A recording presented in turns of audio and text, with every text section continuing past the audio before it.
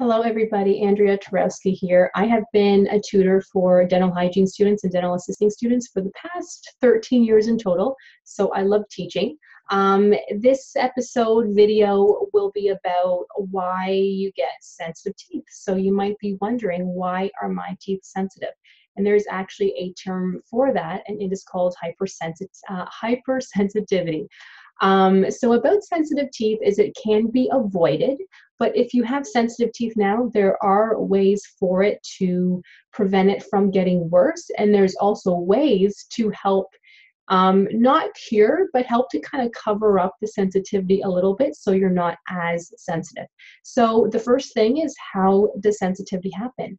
It could happen from not having proper oral hygiene. So if you're not brushing and flossing, then that plaque that is staying on the teeth hardens into tartar. And then all of that um, kind of eats away at the enamel over time, for lack of a better word. And if something's eating away at the enamel, that means less enamel, and then the underlining layer is exposed. And that's when things become sensitive.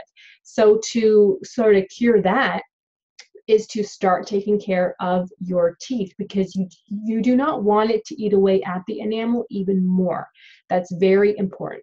Using a hard toothbrush could cause hypersensi- um, hypersensitivity because if you're brushing too hard, you could be taking away some of the enamel and some of the gum tissue around the teeth over time. It doesn't take a lot. So you you might be thinking that you're helping by brushing too hard, but you're but you're actually not. So there is a fine line between brushing too hard and not hard enough. So, how I said earlier, if you do not have proper oral hygiene, if you're not brushing properly, then that's also a bad thing too, and that can cause hypersensitivity.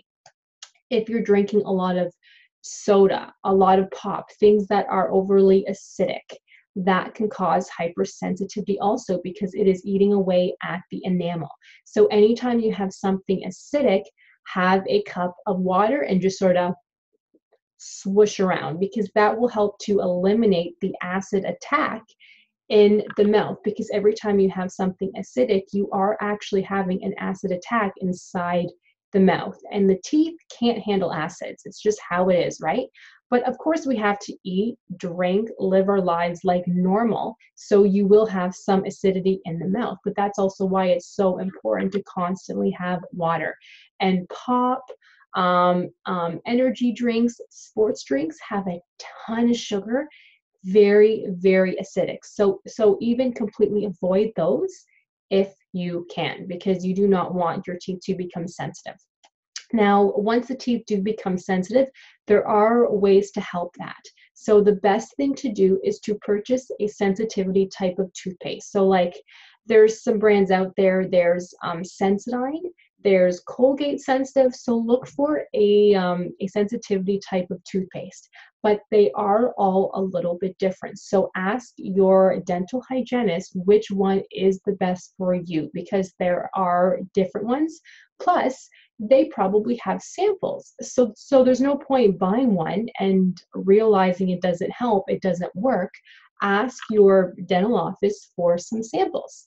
Um, but another thing too, that once you start to use those toothpaste, it does take a couple weeks to actually become um, become effective because what those toothpaste do is they do form a thin layer over the teeth to help protect them. So once it starts to form, your teeth are protected to some point, but it does take a couple weeks.